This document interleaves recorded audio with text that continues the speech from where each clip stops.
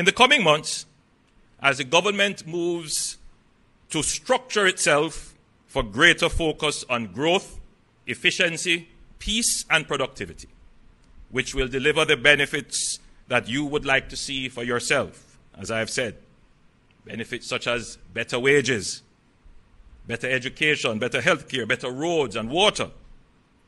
We have planned certain changes to put the administration in a position to refocus and better deliver these well deserved benefits to the people of Jamaica.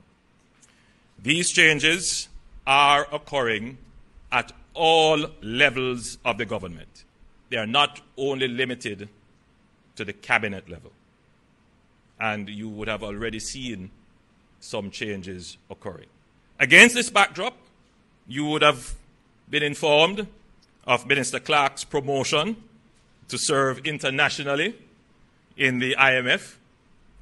Yesterday, we announced the resignation of Marsha Smith as Member of Parliament for North East St. Ann. Minister Samuda, Minister Matthew Samuda, will replace Marsha in North East St. Ann as the party's candidate. And on Monday last, he tendered his resignation from the Senate and as a minister to make himself available.